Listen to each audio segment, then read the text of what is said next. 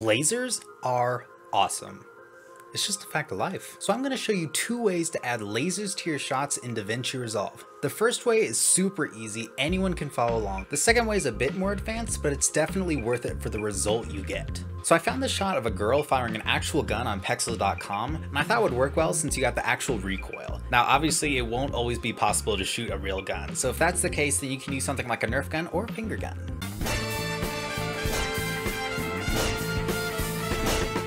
If you do shoot your own footage, I would recommend flashing a light on them. That way when you add the laser, it'll look like it's casting light on the person. I wasn't able to do that for this shot, so I'm going to show you a workaround you can do in post. Alright, so I have my clip here in Fusion. I'm just going to right click on it and click new fusion clip. So now I can go into fusion. All right, I'm gonna click this to make it one viewer just to make things easier. All right, so first I'm gonna scrub through my footage and find when it looks like she fires, thinking that's frame 24. It's where the sparks start showing up. So first I'm gonna bring down a background node from right here. I'm gonna pull out from this square and drag it over this square here. So that'll make a merge node. So if I bring that to the viewer by pressing 2, it's all black. So I'm going to select my background, change the color to white. Now I'm going to add a polygon node by clicking right here. So now I'm going to add some points and mask out the shape of my laser. Really simple shape.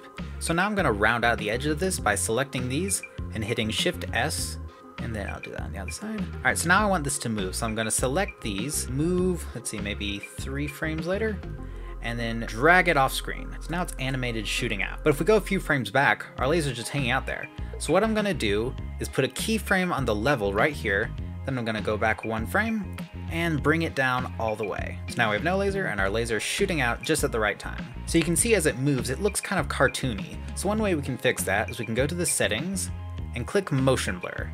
So I'm just gonna crank up the quality all the way. So now it has realistic motion blur. It looks quite nice. So now let's add a glow to it. So I'm gonna hold down shift and space and that'll bring up the tool menu. So I'm gonna search soft glow. Now that'll add a glow to the thing. So I'm just going to make it red. Then I'm gonna bring down the green and blue. Now the trick to getting a realistic glow is having multiple versions of it getting bigger and bigger. So I'm just going to bring down the glow size on this one, uh, pretty thin like that. Now I'm going to add another soft glow, and this one I'm going to bring up the glow size and maybe bring down the gain a little bit. And then finally I'm going to add one more soft glow, and this one's going to be huge. It's going to be like a hundred. Now we have a very realistic glow. Now I'm going to add a color corrector node, just so I can play with the colors a little bit.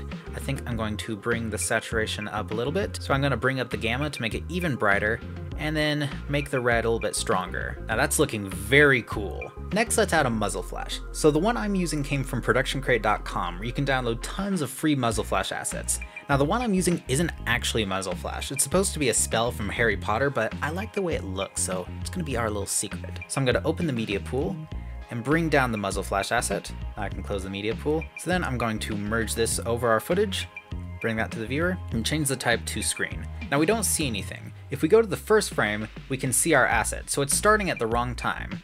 So what I'm going to do is I'm going to select our media into, I'm going to grab this gray line right here, and then drag it so that the first number starts at 24. So now it's starting at the right frame, so let's move it into place. So I'm going to add a transform node. So I'm going to take this pivot X and drag it over until this green X is in the middle of our flash. So now if I bring down the size, it'll scale from that area. So I'm going to make it the right size and drag it over to my gun. Now that looks nice, but obviously it's the wrong color. So I'm gonna add another color corrector, and then just bring up the hue until it's the right color. Now that's looking really dope. I especially like the sparks and the smoke that the spell asset gives. Just gives it kind of a cool sci-fi look. Now you might notice that we have this huge bright thing in front of her, but it's not actually casting any light on her. So what I'm gonna do to fix that, is I'm gonna take the media in, I'm gonna copy it, and then paste it up here, just Control C, Control V. So then I'm gonna merge this over, and change the apply mode to screen. Well, that made it a little bit brighter, but it's the wrong color. So I'm going to add a color corrector and bring it to red. Then I'm also going to bring up the gain just a little bit. So now the whole image is brighter, but we don't want that. So with my merge selected, I'm going to add another polygon. Then I'm just going to mask out the part I want to be lit up. All right, so if you look at that, that looks terrible. What we can do to make it look better is just bring up the soft edge a bunch. That looks pretty good. But if we move a couple frames back, we can see that it's lighting up before the laser comes out. So what we can do is in the merge, put a keyframe on the blend, go back one frame, bring it down to zero. Then I'm gonna go a few frames forward as the laser gets out of sight, and bring down the blend again. So now it's nothing, lights up, and then fades back down. Then you can add a bunch of different masks for the different parts of the body. I'm just doing the head for the sake of the tutorial. This method works well if you're adding a few lasers, but what if you need tons of lasers? Or what if you need your lasers to react to a 3D camera? That's where this next method comes in. All right, so in this method, we're going to use particles to generate the lasers. That way we can add a ton more. So I'm going to bring down a P emitter and a P render, bring that to the scene. All right, so in the P emitter, I'm going to take the region and bring the size all the way down to 1. We just want it coming from this one point here. So then I'm going to bring up the velocity all the way. So if I press play, we just have a little line of dots.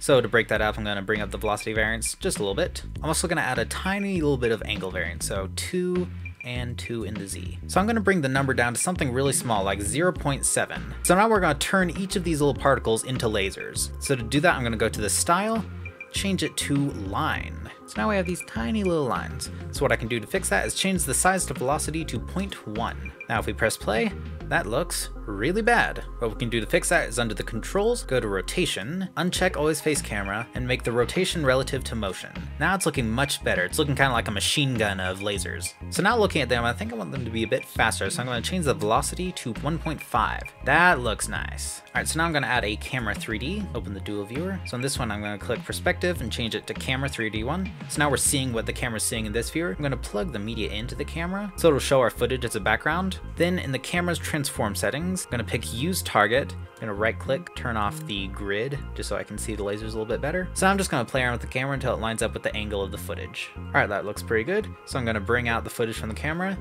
Now I'm going to add a renderer 3D. So I'm going to change the type to OpenGL render. Now I'm not really seeing anything. So what I can do is right click, change the options to checker underlay, now we can see these faint little lines. So let's make them a little bit easier to see by adding a brightness contrast and bringing the gain up all the way. That's better. All right, so before we add a glow or anything, I wanna track the tip of our gun. So the footage I'm using has a little bit of camera motion. So what I'm gonna do is add a tracker, go to the first frame. Then I'm just gonna track the tip of the gun right here. Change the mode to best match and just track that forward. All right, that finished tracking. I'm gonna drag out the tracker from our footage. I'm gonna bring down a background and plug that into the background of it and just change the alpha to zero. Then I'm gonna plug our lasers into the green input of this. So nothing's happening, so I'm gonna change the operation to match move. Then I'm gonna merge that over our footage, change the type to screen. So now the lasers are moving with our gun, but they're not coming from the right point. So before our tracker, I'm gonna add a transform and then just move it to the tip of the gun. So now let's make these look like lasers. So you could do it the same way as the first method, adding soft glows and stacking those, or you can do what I prefer to do and add X-Glow. This is a plugin that you can get on Reactor. It's free and it's my favorite way of adding glow. So I'm just gonna change the color to, I think green this time. Yeah, that looks nice. And then to tweak things a little bit, I'm gonna add another plugin called Tintensity. Both of these are free, you can get them on Reactor. So with intensity, I'm just gonna bring up the gamma a bunch and the saturation. Of course, I can change the hue to see if I like a different color. I'm happy with my green, and maybe just boost the gain just a little bit. So for the muzzle flash, you might be thinking, oh no, do I have to add an asset for every single laser that comes out? And I mean, you could if you want to, but there's a way easier way to do it. So I'm just gonna copy all of these nodes here, and then paste them over here. So now we have a duplicate of our laser setup. So what we're gonna do is we're gonna use these particles to automate the muzzle flash. All right, so I'm gonna go into the particles, and let's change a few settings. All right, so first I'm gonna bring down the velocity and the velocity variance all the way down to zero. So if we press play, we should see nothing. Then rotation, I'm going to check always face camera. So in the style, I'm to change it to bitmap.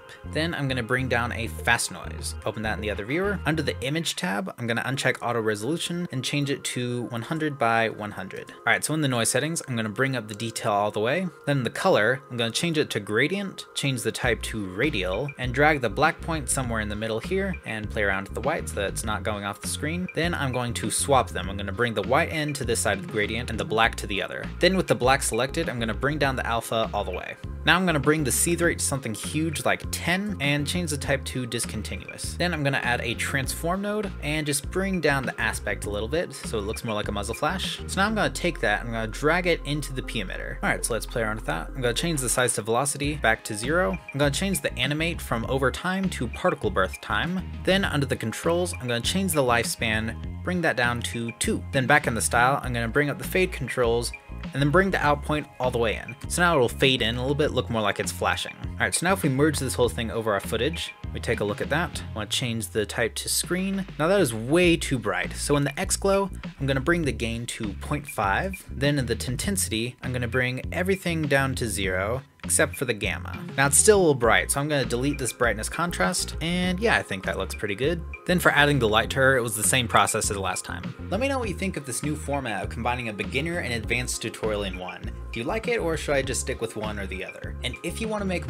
more Star Wars VFX, then check out this video right here, where I show you how to make a spaceship scene inside of Fusion.